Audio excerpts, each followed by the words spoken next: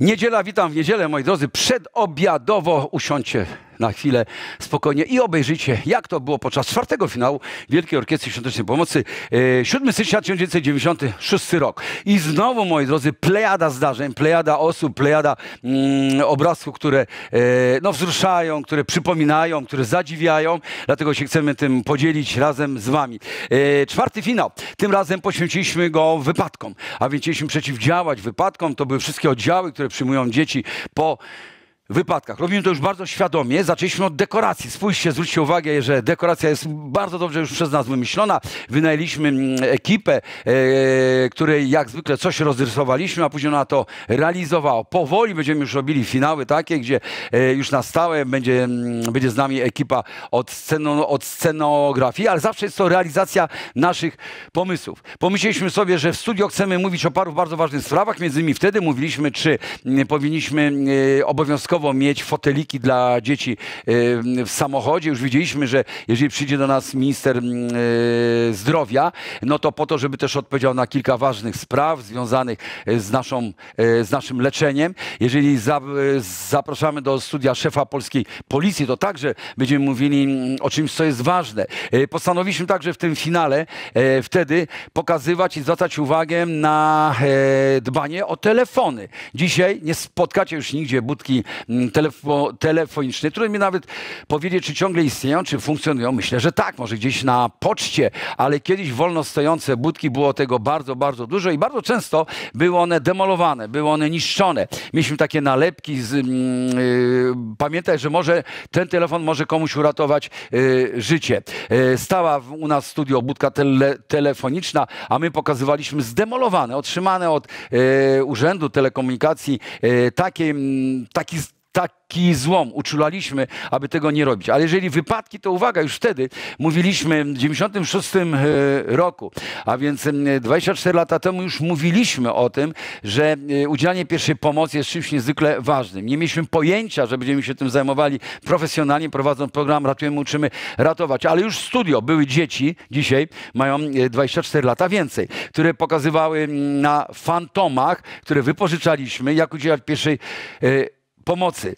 Wszystkim cały ten sprzęt, czyli nosze ferno, specjalne kołnierze ortopedyczne, wszystko to, co jest związane z ratowaniem życia, było dla nas nowością. Zaprosiliśmy do studia strażaków, dzieciaków, policję. Wszystkim pokazywaliśmy, że jest to niezwykle ważne w takim życiu co, codziennym. E, łączyliśmy się już oczywiście z całą Polską, e, pokazywaliśmy koncerty, które są mm, w różnych miejscach i uwaga, po raz pierwszy wtedy zaistniał internet. Jeżeli wam się wydaje, że internet mm, e, ma 100 lat, to nie. Internet w naszym wypadku ma 24 lata. Wtedy po raz pierwszy młody człowiek tłumaczy mi z takim no, iskrą wokół, że 200 tysięcy ludzi w Polsce, a kilka milionów na całym świecie ma możliwość obejrzenia tego, co się tutaj dzieje w internecie. 200 tysięcy w internecie. Moi drodzy, są to osiągi dzisiaj mm, no tak jakby prehistoryczne,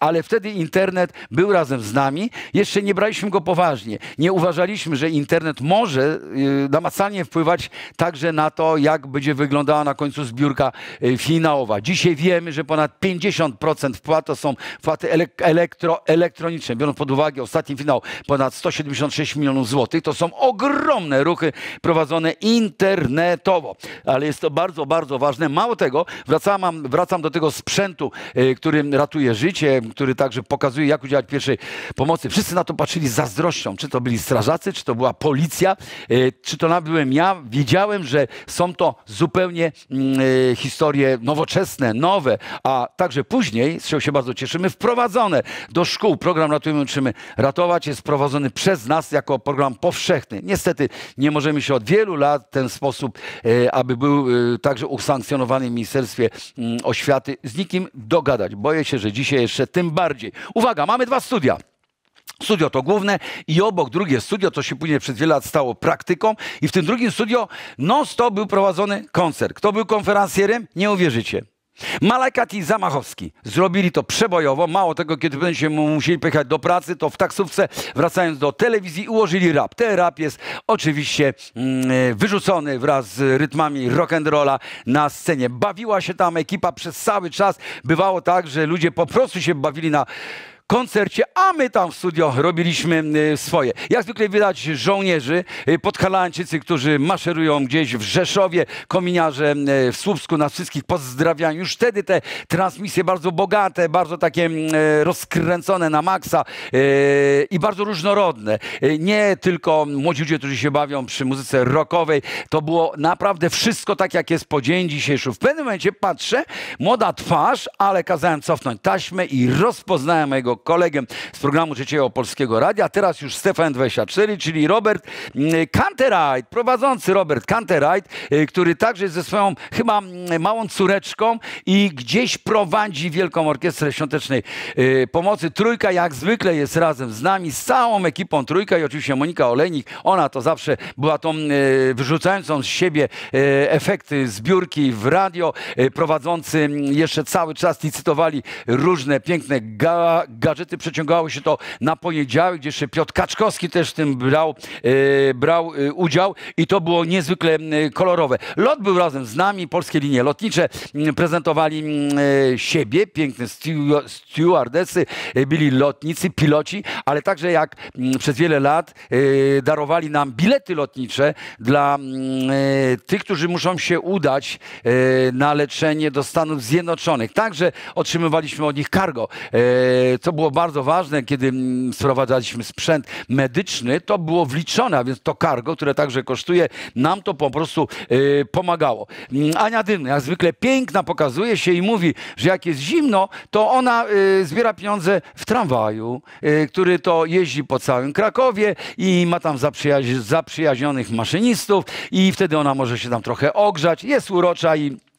Mówi do nas takim pięknym, pysznym y, językiem. Zielonka, wtedy niezwykle aktywna, bo w Zielonce y, organizatorzy wpadli na jeden pomysł, najbardziej prosty. Ściągamy masę znanych twarzy i te wszystkie twarze są w jednym miejscu, a cała Zielonka po prostu chce przyjść, zdobyć autograf, porozmawiać, zrobić cokolwiek. Widzimy także Janusza Gajosa. Jak to się niezwykle zamyka y, Janusz Gajos na czwartym finale, Janusz Gajos także na najpiękniejszej domówce świata 24 lata później taki sam, miły, mówiący o tym, że właśnie licytuje, że całkiem mu to dobrze idzie, że pierwszy raz w takim czymś bierze udział. Budka yy, Suflera nie, za, nie zagrała, bo ich powaliła grypa, ale e, byli studio chyba w Lublinie, e, gdzie przekazali pieniądze już no, młode, e, dobre pieniądze nowe. Pomyliłem ze słowem młode, ponieważ uwaga, gdzieś w Polsce kamera pokazuje bohaterów filmu Młode Wilki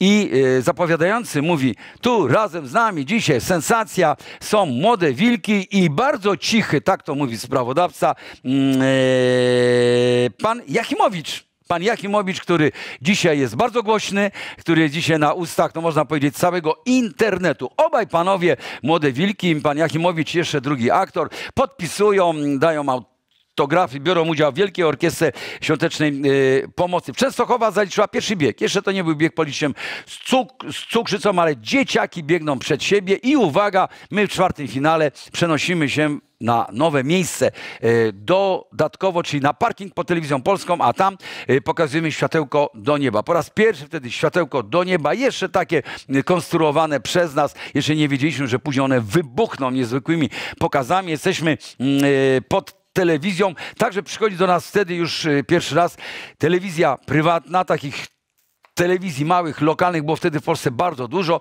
a tu mówię o telewizji Praszka. Śmieliśmy się w pewnym momencie, że jeżeli telewizja Praszka do nas nie dojedzie, no to nie możemy skończyć finału. Przez wiele, wiele lat dojeżdżali do nas na sam koniec i zapowiadali telewizję Praszkę. Mało tego, zapowiadacze z tej telewizji mogliby zapowiedzieć koniec świata i nie byłoby paniki. Robili to spokojnie, żeby nawet nie wiem, co za nimi się działo, swój temat przedstawiali, kłaniali się nisko. Telewizja Praszka, a więc absolutnie nasi przyja przyjaciele. Kończymy ten finał, czwarty finał. Wielkim tortem. Ten tort, po dzień dzisiejszy ta tradycja jest tak, że u nas wjeżdżają różne torty. Wtedy tort y, Horteksu wjechał y, z palącymi się świecami i później finał, a finałem była muzyka e, obstawy prezydenta wszystko wokół zwariowało. E, utwór, który grali na najpiękniejszym festiwalu świata, przystanku Woodstock, a potem powiedzieliśmy, on tak fajnie brzmi, e, że wszystko wokół zwariowało, że to ich zaprosiliśmy do finałowego grania. Zapraszam Was wszystkich bardzo gorąco.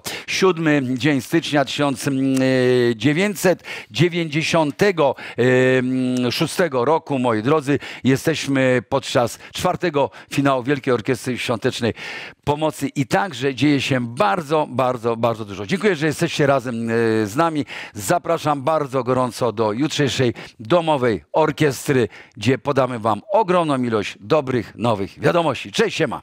Tutaj jest nasza budka telefoniczna. I czy pan tutaj będzie stał w kolejce? Ja bym na chwilę. Dobrze, no to, to, to już. To ten facet Was tutaj wpuścił! Wielkie brawa! Dyrektor programu drugiego! I czy oni nie zrobią bałaganu? Nie, chyba nie. No oni robią bałagan fantastyczny od czterech lat i o ten bałagan nam chodzi. Wow! Podziękujcie. Już jesteśmy tutaj wszyscy. Cześć, siema! Widzicie teraz wszystkie ośrodki nas słyszą. Pozdrawiamy wszystkie ośrodki! Zgadnijcie, zgadnijcie wszyscy, o której on dzisiaj wstał, o której się obudził. O 4.35 rano, żeby zdążyć na Wielką Orkiestrę. Już mamy 4 miliardy 571 milionów 537 tysięcy 200 starych złotych. Brawo! No kochani, co się dzieje? Jak ładnie ci w tej sukni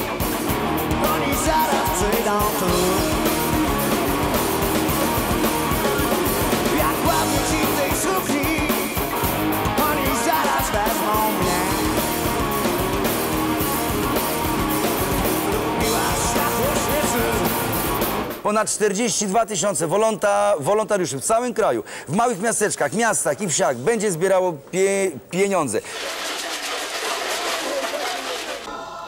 Dziękuję bardzo. Proszę. Dziękuję bardzo. Rzeczywiście. No, można zrobić mi co się chce. Dziękuję bardzo.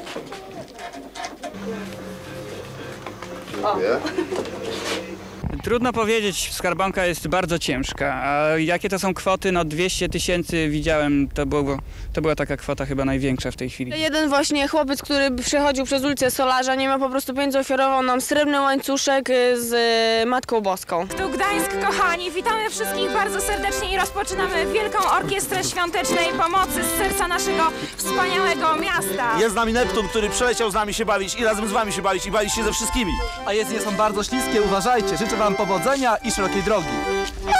A teraz jesteśmy przy takim stanowisku, które się nazywa internet. Kochani, wytłumaczcie mi w dwóch słowach, o co chodzi. Internet to sieć, sieć komputerów. Tych komputerów jest na świecie miliony i w tych komputerach jest 150 milionów ludzi. Tylko w Polsce to jest 200 tysięcy ludzi. To jest 100 szkół, które podłączyliśmy i to są również dzieci z Centrum Zdrowia Dziecka, które są w tej chwili na linii razem z nami. I poprzez sieć, poprzez internet zbieramy pieniądze, więc jeśli chcecie wpłacać te pieniądze, tu jest adres. Czyli wszystkie osoby na świecie, fura osób nas teraz słucha, może nas obejrzeć, może z nami porozmawiać. Może nie tylko e, słuchać, nie tylko obejrzeć, ponieważ dzięki CUSMI mogą Cię widzieć w tej chwili nie tylko telewidzowie Polski, ale również wszyscy przyłączeni ludzie do internetu. Ten telefon działa, mało tego, z tego telefonu będziemy się łączyli na Hel, na Gubałówkę. Halo Warszawa, halo Warszawa, y, mówi Hel, y, Hel się kłania, koniec Polski lub początek Polski, jak niektórzy wolą. Jesteśmy na samym koniuszku Cypla Helskiego, z prawej strony mamy wodę, to mała nasza plaża, z lewej strony stacja morska Uniwersytetu Gdańskiego, gdzie mieści się centralna skarbonka y, dzisiejszej akcji. Tak na co dzień ratujemy tutaj foki, delfiny i ryby, dzisiaj pomagamy dzieciom, a dzieci helskie potrzebu- potrzebują pomocy. Ponad 5 godzin facet trzyma słu- słuchawki i słucha mojej gaduły. Boże jedyny, czy on to wytrzyma? Nie wiem, to już jest jego sprawa.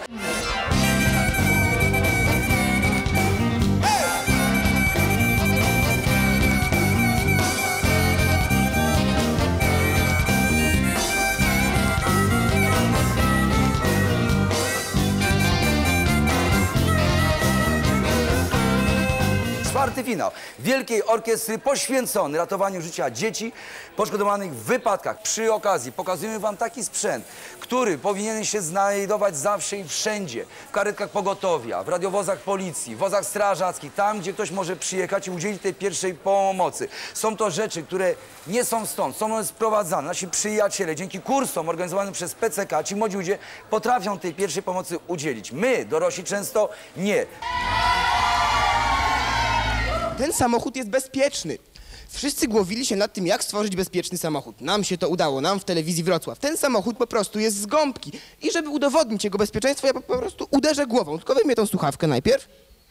Proszę, uderzyłem, przykleiła mi się nalepka, ale nic mi się nie stało. Doszło do wypadku, proszę natychmiast włączyć sygnał. Czyli możemy dodzwonić się wszędzie i natychmiast będziecie pilotowali, żeby dojechać jak najszybciej. Tak, oczywiście. No nie jest to bezpieczne, tak mi się wydaje. Panie Krzysztofie, jak to się robi, żeby tak jeździć? Mamy, chcemy mieć swój wkład również w bezpieczeństwo i prowadzimy szkołę jazdy. Tam się wszyscy szkolimy na bezpiecznym obiekcie, jakim jest Tor Poznań i, i właśnie próbujemy wykształcić, szkolić tych bezpiecznych kierowców, żeby jeździli z finezją, y, spokojnie, przewidywali y, niebezpieczne sytuacje na drodze. Pod wieżowcem telewizji strażacy pokazali nam, jak ratują życie ludziom, którzy ulegli wypadkom.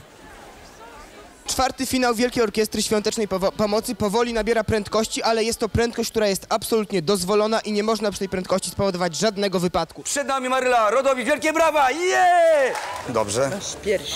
Jezu, kochany, stało się jednak! A więc Maryla ma moje, mo, moje serce. Demon Twista, pan Rysio, co pracował na myśli i pionierki miał znarte, bo gdzieś wspinał się wciąż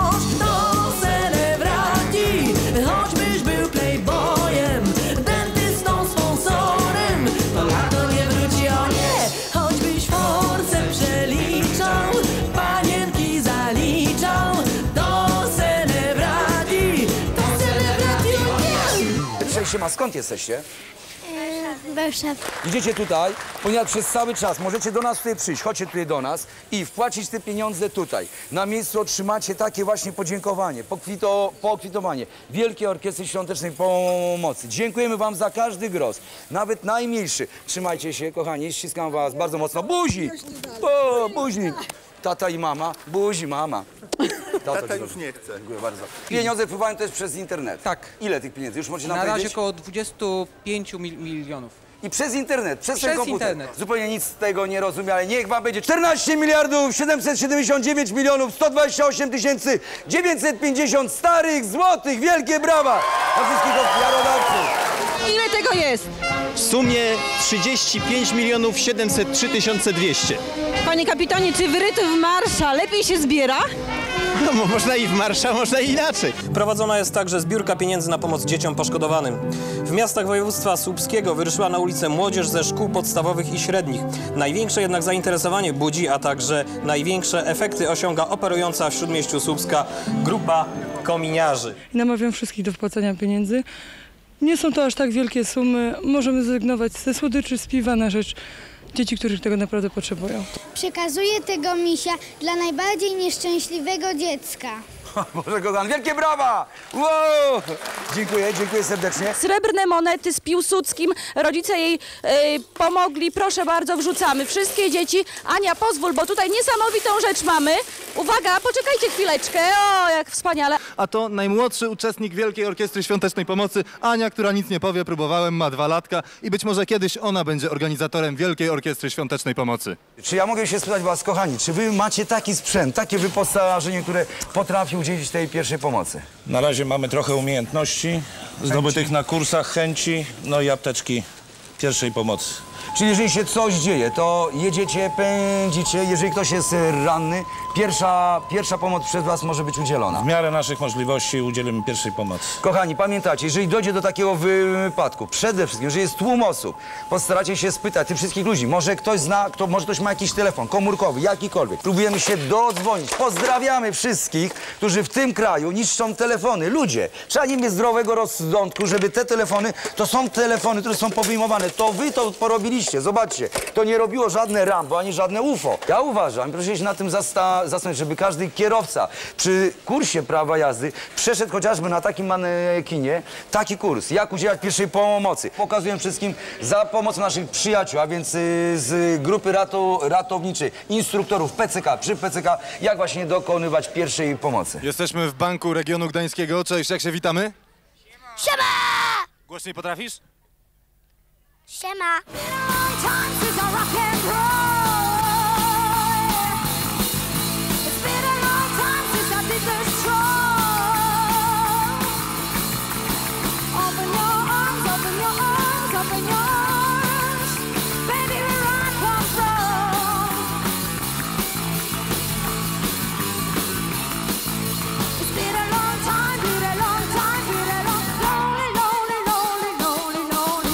Pan minister dzisiaj mówił o 60 miliardach, więc jeżeli mamy 18, dołączymy złote serduszka, to już mamy na pewno grubo ponad 20, 25 miliardów, może już. To jest prawie połowa tego, co znajdzie się w waszym budżecie. Czy są to pieniądze? Cieszy się pan? No cieszę się bardzo, ale jeszcze to nie jest połowa. Jeszcze to nie jest połowa? Proszę bardzo. Idziemy z panem ministrem. Proszę uprzejmie. Zrobimy panu mi, ministrowi identyfikator. Ma pan ogromną firmę. I być- ogromną, ma bardzo być dużą połowa, firmę. tak? Proszę bardzo. Wypełnimy może to tutaj. Adres ministerstwa proszę wpisać. A nie, domowy napisałem. Domowy, dobrze, więc pan minister pisze adres domowy. Ma pan jakieś swoje zdję, tutaj zdjęcie? Nie mam. Nie mamy, ale zakładamy, że ja tutaj napiszę. Proszę bardzo, znam fotografa. Ko kochani, zróbcie, zróbcie zdjęcie panu ministrowi. to na Proszę pewno bardzo. ja. To na pewno Proszę ja. bardzo zrobić zdjęcie już. Uwaga, robimy zdjęcie panu ministrowi. Zdjęcie będzie za moment. Znam tego pana. Jurek Owsiak. Damy panu serduszka, damy panu plakaty. Nikt pana o nic nie będzie podejrzewał, bo jest to wszystko bardzo legalne. I może pan tak trzymać identyfikator, chodzić po całej pracy mówić, proszę bardzo, no zbieramy pieniądze na Wielką Orkiestrę Świątecznej Pomocy. Ma pan minister czas do 31 stycznia, zgodnie z tym, co tu jest napisane, aby legalnie zbierać pieniądze. Jeżeli zobaczycie tego pana, jak podchodzi do was i mówi, zbieram na Wielką Orkiestrę Świątecznej Pomocy, to bez popłochu, kochani. Tylko hojnie. Wielkie brawa dla naszego następnego wolontariusza. Proszę bardzo. Proszę Państwa, w naszej delegacji jest dzisiaj y, szef personelu latającego, wielokrotny mistrz świata w lataniu precyzyjnym i rajdowym, pan y, kapitan pilot Krzysztof Lenartowicz. Może... Brawo dla pana kapitana! Precyzyjny lotny! Ja tylko chciałbym przekazać, poinformować pana, panie Jurku, że lotu fundował dla państwa cargo. To znaczy jest to prezent, który nie wiadomo ile wart jest, bo im więcej sprzętu medycznego zostanie zakupione za granicą, to lot go przewiezie. Także im więcej, tym bardziej warte to będzie.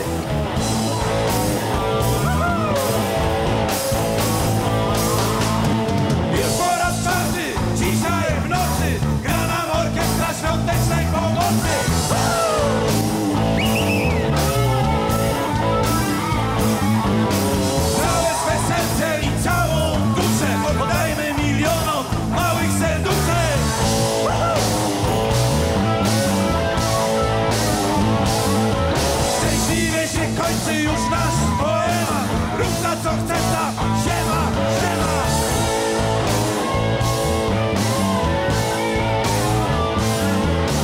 Rób na co chce ta ziema, ziema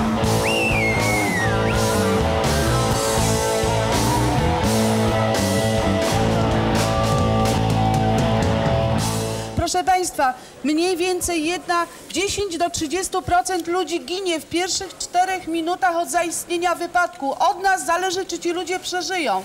Proszę Państwa, zacznijmy się uczyć pierwszej pomocy już od dziś. Jeżeli ktokolwiek zadzwoni do PCK, yy, będziecie się tym opiekowali, tym Tak. kimś, kto będzie chciał, nie wiem, uczyć się od was? Tak. Obiecuje pani? Obiecuję w imieniu wszystkich naszych placówek w całym kraju. wiedza, która em, towarzyszy nam na co dzień, musi być nieustannie trenowana, musi być nieustannie powtarzana.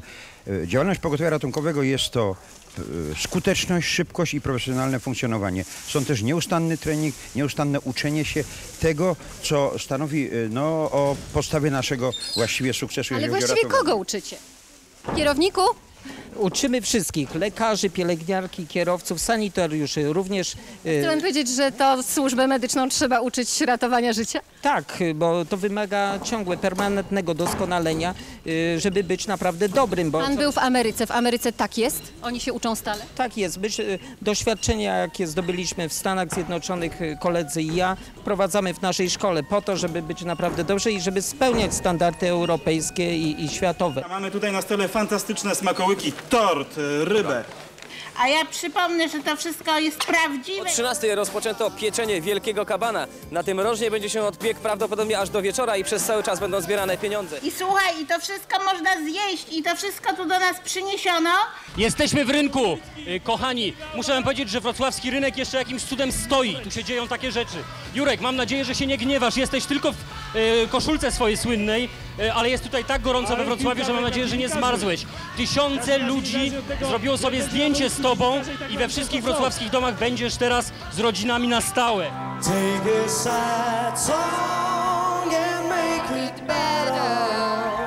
Pośpiewajmy, pośpiewajmy razem. To let her into your heart. Then you can start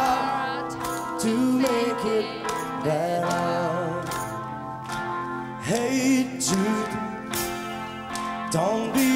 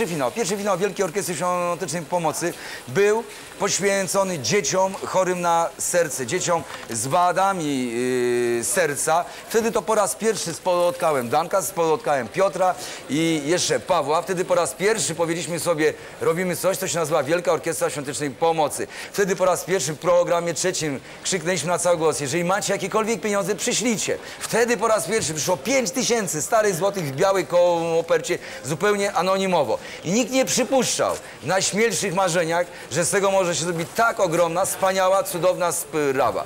Wraz z Dankiem, nasi przyjaciele, którzy przyjechali ze świata, kardiochirurdzy, przyjechali tutaj po to, żeby powiedzieć, że polska kardiochirurgia jest na naprawdę najwyższej europejskiej skali. Jest po prostu fantastyczna. I w tym jest cząstka Wielkiej Orkiestry Świątecznej Pomocy. Jakie są wasze wrażenia? Jak się czujecie?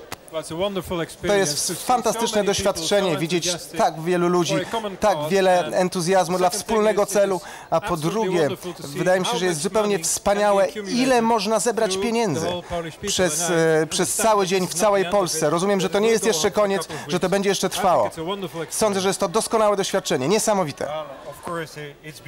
Oczywiście to piękna sprawa. Chciałbym pogratulować Jurkowi, który, człowiekowi, który mówi z samym swoim sercem do całego kraju. To wielki sukces. Wielkim sukcesem jest to, że macie tutaj wiele generacji ludzi. Głównie wrzucają ludzie młodzi pieniądze, rzadziej ludzie starsi. Było powiedziane, napisane, że przysyłają 100 serduszek. Ja dostałem tylko 40, ale na szczęście to jeszcze z gazety wyborczej dostałem. Do której ma zamiar pani kwestować? Ja nie wiem, no za dwie godziny, trzy, nie wiem ile. Zobaczę, czy będzie bardzo zimno. Jak będzie bardzo zimno, to idę do tramwaju. Tam koledzy jeżdżą naokoło Krakowa i tam jest cieplej. Nie wiem, bo nie wiem, jakie są nastroje w tym roku w społeczeństwie, ale uważam, że to jest najpiękniejsza z tych wszystkich akcji i chyba taka pierwsza, więc ja biorę udział, bo mi to w krwiobieg weszło. Zawsze może coś uzbieram. Ja dam wszystkie, jakie mam. Dziękuję bardzo. To będzie na szczęście, żeby się rozmnożyły. Bo to jest wspaniała sprawa, to jest wspaniała idea, wspaniała sprawa, także to jest coś wspaniałego. A po raz który to się dzieje? Tak. Jest letnia zadyma w środku zimy. Pan! 500. Mamy 500. 500 tysięcy po raz pierwszy. 500 po raz drugi. Handluję. Nie mam w tym wielkiego doświadczenia, ale robię co mogę. Sprzedaję takie pocztówki z wizerunkiem Jurka Owsiaka, na których się również podpisuję i to ma nawet y, spore powodzenie. Pierwszy raz biorę za podpis 5 zł, ale to wszystko idzie na, na bardzo szlachetny cel. Ja nie wiem, Jureczku, czy ktoś w Polsce do tej pory z rock'n'rollowców przekazał tak dużą sumę pieniędzy na wielką orkiestrę. Romek Lipko przekaże za chwileczkę. Ile Romku? Bez, bez przesady, to taka, nie możemy wziąć czynnego udziału, w, y, jesteśmy zdziesiątkowani grypów, rzeczywiście z trasy, ale, ale nie w pełnym składzie, więc tylko y, to, co możemy, to w kopercie jest 20 milionów starych polskich złotych. Brawo dla Budki!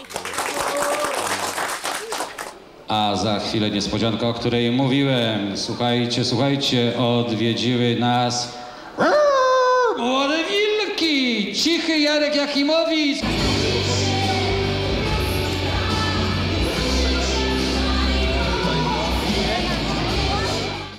Na biurowcu przy ulicy Dekabrystów zawieszono największe w Polsce logo Wielkiej Orkiestry.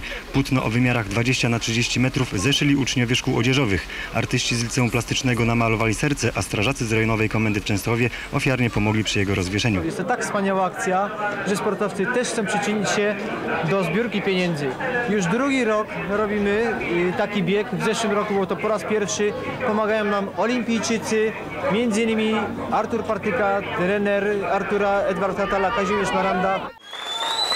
Z naszą latającą kamerą byliśmy w Londynie, w The Great, Great Ormond Street. To jest największy szpital dziecięcy w Anglii. I tam spotka, spotkaliśmy się też z przyjacielem naszym, który opowiadał o pracy swojej, który opowiadał o fundacji i który też nas chwalił. Cieszymy się bardzo. Ja znam dobrze Waszą fundację Wielkiej Orkiestry Świątecznej Pomocy. Dlatego noszę Wasz znaczek już przez kilka lat i chciałbym powiedzieć przede wszystkim, że jestem pod wielkim wrażeniem Waszych osiągnięć, ale także myślę, że jest to najlepszy sposób niesienia pomocy dzieciom. Nigdy nie wystarcza na to pieniędzy, nawet w takim kraju jak Anglia, która teoretycznie ma tych pieniędzy dużo, ale w praktyce okazuje się, że ich brakuje. Szpital, w którym się teraz znajduję, był zależny od dotacji publicznych przez większość swojej historii. A ten budynek, w którym teraz się znajdujemy, został w całości wybudowany z darów publicznych. I kochani, a tu jesteśmy właśnie przy internecie. To jest następna grafika przesłana do nas. Yy, Skąd ona przyszła? Ona przyszła od Plutona z Lublina. Niech pan, panie komendant, mi powie, czy dzisiejszy dzień jednak można zaliczyć do spokojniejszych, jeżeli chodzi o wypadki? Jest to dzień spokojniejszy. To dzięki właśnie tej orkiestrze. Chciałby, chciałoby się, żeby takich dni było więcej. Zapalajcie wszystkie ogniki do nieba, kochani! Garniemy się do muzyki. Muzyka to jest nasz festyn. Kochamy trąbki i smyki. Obój, klarnet, klawesyn.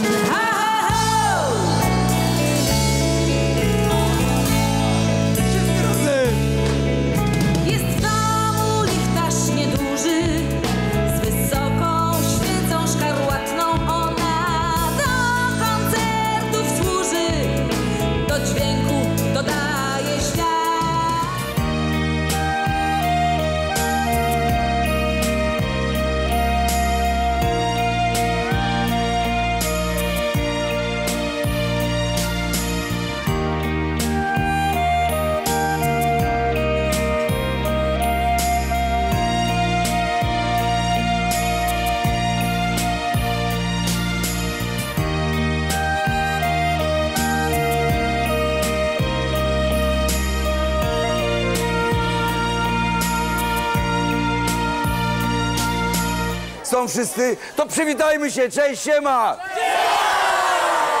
37 miliardów 900 389 milionów 249 tysięcy 950 zł. Nasz kolega Wojtek, studiowaliśmy razem, ortopeda ze szpitala w Otwocku. Wojtek, co chcesz powiedzieć wszystkim? Przede wszystkim wydaje mi się, że najcenniejszym wynikiem naszej akcji dzisiejszej będzie to, że profilaktyka. Profilaktyka, jeszcze raz, każda złotówka zainwestowana w profilaktykę zwraca się co najmniej dwu albo i trzykrotnie. Dlatego to jest najcenniejszym osiągnięciem chyba dzisiejszego dnia. 44 miliardy 60 milionów 287 tysięcy 440 złotych! A kochani, ale w tym wejściu, w tym wejściu obiecałem mojej córeczce Ewuni, że ją pozdrowię. Ewunia, pozdrawiam cię bardzo mocno serdecznie. Tu jest mama, mama pomachaj. Jesteśmy cały, cały czas, jeżeli jeszcze nie uśniesz i do wszystkich dzieci, bardzo małych. Kochani, możecie już teraz iść spokojnie spać. Czwarty finał Wielkiej Orkiestry Świątecznej Pomocy zdecydowanie się udał. Spokojnych snów dla was wszystkich. Ale to nie wszystko, ale to nie wszystko. 4 miliardy 293 miliony złotych. Ja no to co, dla Wrocławia wielkie brawa! Dzięki serdecznie. Ci, którzy myślą, że to wszystko, bardzo grubo się mylą. I z Zielonki 122 miliony 400 tysięcy starych złotych w zespole szkół, jak w roku ubiegłym. Yy, i, była pani Dorota Stalińska, pan Marek Siódmy, pan Gajos, pani, yy, pan Kaczor, pan Sierocki yy, i Żina Nowakowska i cała masa różnych innych ludzi i, i, i wszystkim bardzo dziękujemy i, i dziękujemy Wideomagowi. I ja cię pamiętam z zeszłego roku. Ja wiem. Mamy złoto, mamy srebro. Nasza szkatuła. To jest ich szkatuła. Pozdrawiamy całą praczkę! Nie, ja chciałem powiedzieć, że wszystkie dzieciaki, które były w internecie, były naprawdę bardzo zadowolone z tego, że mogły się połączyć z wami, bo nie mogły was oglądać, ale połączyły się przez internet i bardzo to wszystko przeżywały. Czy za to można istotnie kupić dużo sprzętu bardzo dobrego, specjalistycznego, które będzie tym dzieciom ratowało życie? Proszę Państwa, my mamy około 80 szpitali chirurgii dziecięcej w Polsce. One się prawie że wszystkie zajmują leczeniem urazów no, w różnym stopniu. Ta suma jest dużą sumą, no niestety nie zabezpieczy wszystkich potrzeb. No my będziemy starali się bardzo jakoś w sprawiedliwy sposób rozdzielić. E, Moja koleżanka redakcyjna, Asiu, powiedz, jak przebiegała ta akcja, ile zebraliście pieniędzy? Zacznę od rzeczy najbardziej istotnej. Po 8 godzinach podróży udało nam się zebrać ponad 70 milionów starych złotych. To jest rzeczywiście bardzo dużo, ale chyba jednak nie to było dla nas najbardziej istotne.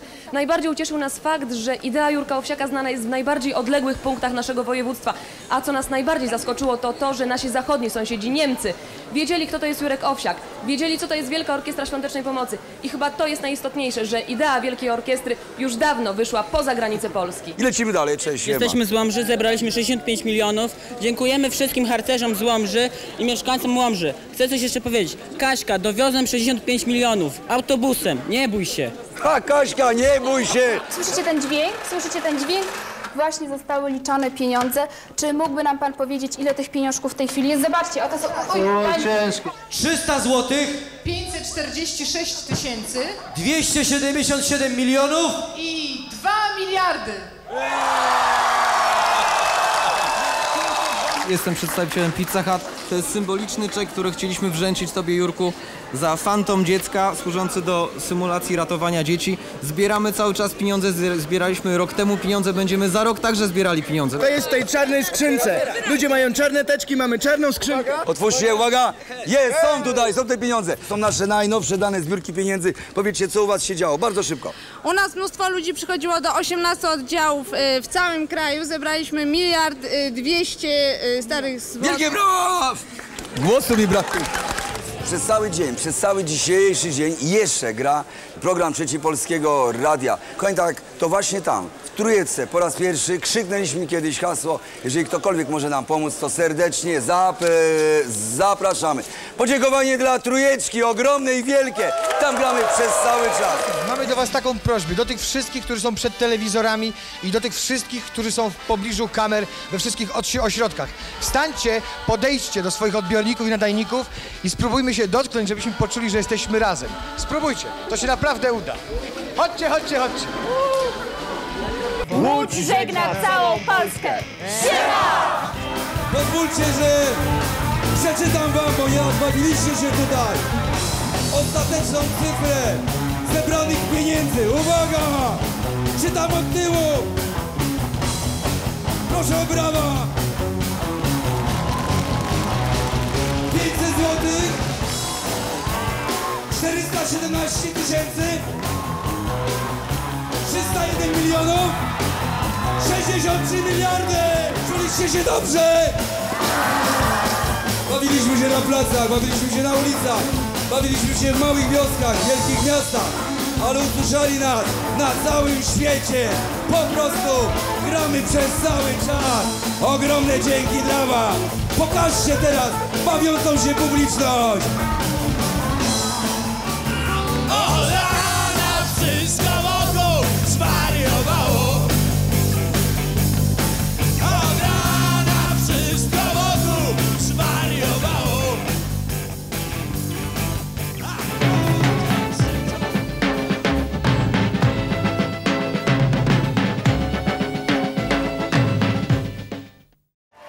Moi drodzy, do hymnu.